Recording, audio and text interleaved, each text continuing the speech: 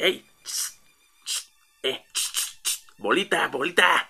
Es una frase que ya tiene fastidiadas a dos vecinas de esta cancha en la colonia Emiliano Zapata, a quienes les toca recibir pelotazos y hasta malas palabras de los jugadores.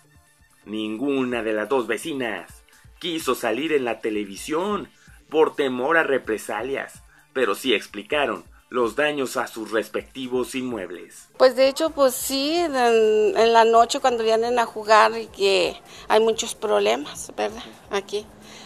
¿Qué pasa, doña Lupita, este, con esta cancha? Lo que pasa que si vienen a jugar está bien, estoy de acuerdo de que pues una cancha deportiva para los jóvenes, ¿verdad?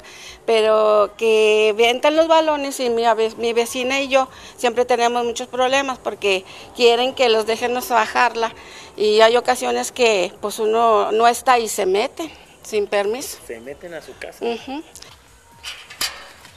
de hecho lo hemos arreglado hasta que nos hagan caso. Mira, aquí está donde trozaron quitaron el candado, se metieron, se llevaron, a, andamos remodelando los cuartos del niño, se todo lo que habíamos acá.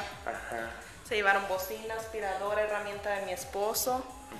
Mm, y pues sí, fueron varias cosas, bolsas de ropa, zapatos.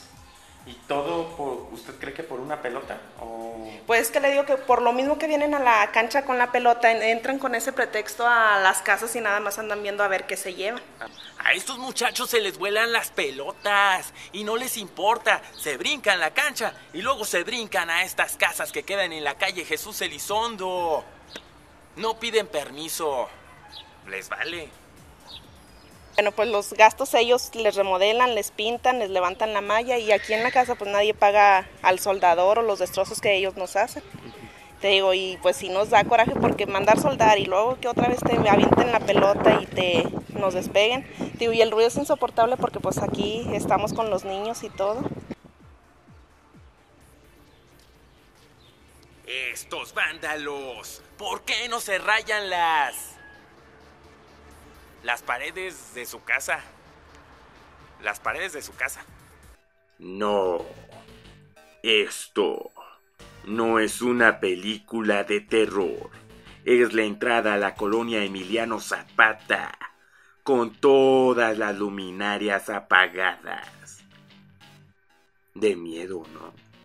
Y ya que en Saltillo está de moda hacer puentes, pues hagan uno entre Valdés Sánchez y el Toreo. Es que pues es que así no llegamos temprano a la escuela. Pues lo que pasa es que tenemos que cruzar el bulevar y pasan muchos carros y pues la verdad a veces llegamos tarde hasta la escuela. ¿Y ya no se les permiten entrar? No, ya no. A veces llegamos tarde y pues ya le cierran la, el portón y ya no podemos entrar. Reportó para Blog de Notas Eduardo Santos en su compu y en su cel.